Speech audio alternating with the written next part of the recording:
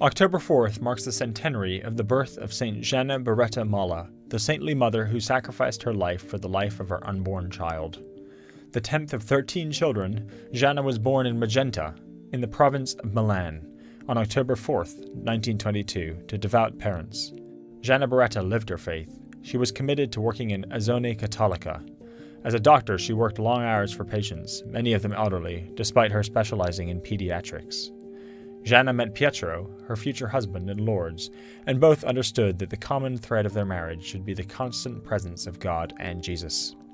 A modern woman, physician, and mother of a large family, St. Gianna was an example of how holiness can be found in the everydayness of one's vocation. When pregnant, complications arose, and Gianna Beretta had to make an incredibly difficult decision to save herself or the baby.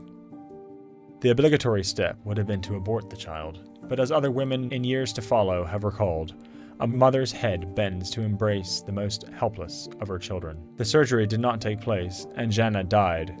A few days earlier, she had reiterated to her husband and doctor If you have to decide between me and the baby, choose the baby. It was 1962 when Gianna Beretta Molla was lifted into heaven on April 28th, a week after giving birth to Gianna Emanuela. Those who would think of it as a momentary or unconscious gesture would be very wrong.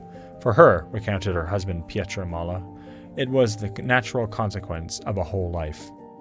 As the first mother in our time to be proclaimed a saint, Gianna questions consciences in a society that every day alludes to the great strides of prenatal diagnostics that boast to guard against any problem of the future child, as if stopping its life were a cure.